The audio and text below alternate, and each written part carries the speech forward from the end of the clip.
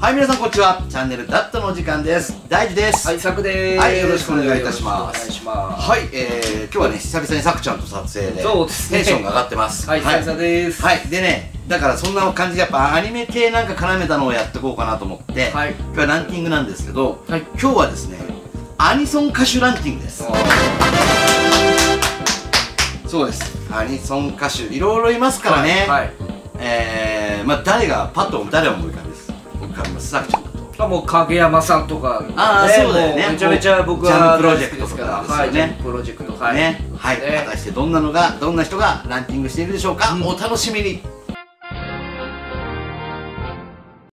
はい、えー、それではですね、はい。えー早速ランキング入っていきたいと思うんですけども、はい。まあアニソンって何何ぞやってまあそんな今更言うまでもないと思うんですけど、一応簡単にね解説するとですね、はい。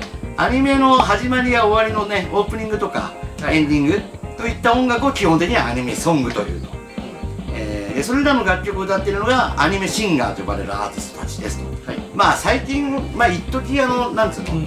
普通にミュージシャンの方が歌を入れてるのもあったりもしますけど確かに俺なんか子供の頃はね 佐々木功とかね、はい。水木一郎とかね。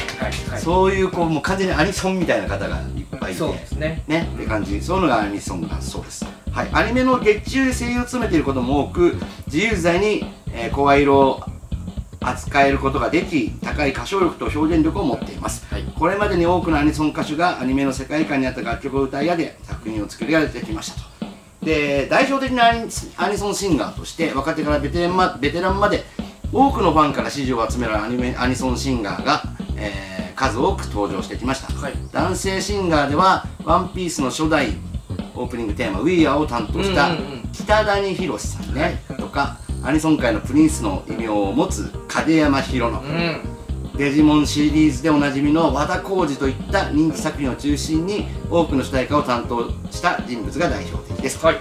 女性では、えーアニソン歌手として初の紅白出場を果たした水樹奈々とか謎の美少女ボーカルとしてデビューした藍井エイルうん。うん数々のヒットソングを世に送り出してきた LiSA などが人気です、はい。えーソロソロで活動するアーティストの他には EGOIST Kalafina supercell といったグループユニットもアニメファンから親しまれていますということで、はいアニソンのスト、ね、シンガーの解説ですねこんな感じですね。はい。ね。まあ、もうちょっと僕なんか世代が上なんでもうちょっと上の方とかね。はい。あれなんですけどね。はい。じゃあ早速、えー発表していきたいと思います、はい。第5位です。うん。第5位、えー鈴木好美さんですね。あはい。これはリターンゼロから始まる、リゼロですね。リリゼロのオープニングテーマ「はい。リドゥ」って歌が有名らしくて。はい。あとは、えー映画「ノーゲームローローライフゼロのうん「There is a Reason」とかね、えー、ディスゲームとかそういうのが鈴木好美さん。まあ俺俺もあのこのランキング調べるにあたってまあぶっちゃけ歌えませんけどあ。まあ、歌いませんけどね。ほにゃにゃもできませんけどでも見たら結構可愛い子だった。はいはい。可愛い子でした鈴木好美さん、はい。あんまり知らなかったんでちょっとチェックしたいなと思いました。なんかあります？鈴木好美さんちょっと僕も、あいやいや ちょっとねね、あの、そこ詳しくないんですけど、そうですねはいじゃあ第4位第4位ですね。はい。第4位。はこちらです、はい。堀江光子です。おお、はい。堀江光子さん。あ堀江光子いきなり入ってきました第4位に。いやいや、もうね。はい。こちらはですねもう俺ら世代のもう大ベテランのザ？です。アニソンシンガー。花の子ルンルンとかですね。ボルテス5とかねキャンディーキャンディーですよ。うわ、ルルルンルンルンルルルンルンルンとかね。あボルテス5はえー、と フィリピンの人はめちゃめちゃ知ってます。めちゃめちゃ歌って盛り上がります、ね。そうフィリピンでめちゃめちゃ放送されてるらしいんで。視聴率、視聴率めちゃめちゃ高い日本のアニメなんだよね。めちゃくちゃ高い。昔からなんだよね。ボルテス5。ボルテスはい。5、知らない人はちょっとボルテス5でググってみてください。はい。第4位は堀江美都子さん、はい。第3位いきますね、第3位はこちら。藍井エイルさんですね。はい。はいね。えー、ラピスラズリとか。うんうん。これはねアルスラーン戦記の主題歌ですね、はい。とか、えー、フェイト。フェイトのメモリアルはい。とかあとはねソードアートオンラインも歌ってましたね。うん。うん、読めないっす。まあまあ、意外と。イグナイトだねこれイグナイト。イグナイトって歌だなねで売れてる売れてるって言い方あれですけど。そうですね。ね俺もまあなんかよく名前見た。あソードアート、うん。ソードアートの SAO でうん。確かに歌ってた、リサとこの人が歌ってるみたいなはいイメージがあって名前は知ってましたけどあんまりねちょっと若い子じゃないんであんまり。曲はピンとこないんですけどね、はい。まあ、第3位が青井エイルさんということではい。はい、えーじゃあ第2位いきますね。第2位はこちらです。クラリスです。うん。はい。はい。クラリスはえーとコネクトが有名ですね。窓マジ、窓マジの。だからこれ結構全然、あのークラリスって知らないでえーっと、あのーこの歌を聴いてるおじいちゃん、おばあちゃんがいっぱいいる。と思い。ますあなるほど。パチンコ屋さん行くと。パチンコ屋さん。窓マジ流行ってます確かに確かに。はい。は並べますからこの歌なるほど。はい。とか、えーっと俺があのー僕が貼っときますけどこの絶賛したアニメ。リコリコリコリコ。リコリスリコイル。あれの、はい。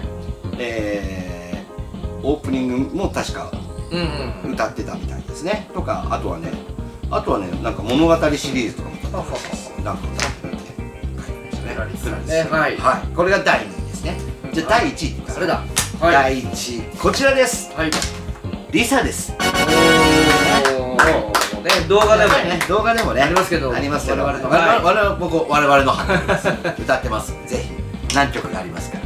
見てみてください。はい。はい、まあまあまあ言うまでもないですけどまあそうです。最近だとまあ「鬼滅の刃」系でねホムラとかそうですね。グレンゲとかね。あとはあの SAO のね「キャッチ・ザ・モーメント」この間やって多分最最新の映画の主題歌とか、うんあとは、えー魔法科レ、えー魔法科高校の劣等生の「ライジング・ホープ」ってね多分もうちょっと春アニメ終了したと思うんですけど、うんまあ、でやってたかな歌ってたなっていう、はいそれも結構 YouTube で歌ってみたら歌ってる人多いんで、うん。さすがだなという。あ違うな。えっ、とオープニングテーマは違うあのえー、シューティッドセレナーデですね。これがオープニングテーマです。今の。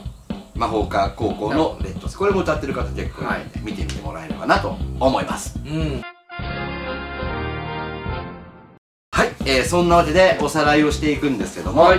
はい。第5位が鈴木好美、はい。第4位が堀江光子。もうここよって感じだよね。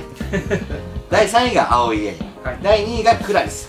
第1位がリサということで、えー、アニソン歌手ランキングというのをやってみました。男性入ってなかったね。なんか入ってなかったですね。影山さんとかね兄貴とか入ってなかったですね。ね本当に残念だ本当に。ちょっと男性も入ってほしかったな。まあまあ、まあまあまあまあまあまあ。今時な感じではします。そうだね、はい。やっぱりね。はいそんな感じで、えー皆様も、えー他にもねなんか思いつく方がいたらコメント欄にも書いていただければなと思います、チャンネル登録と高評価もお願いいたします。それではまたお会いしましょう。ありがとうございます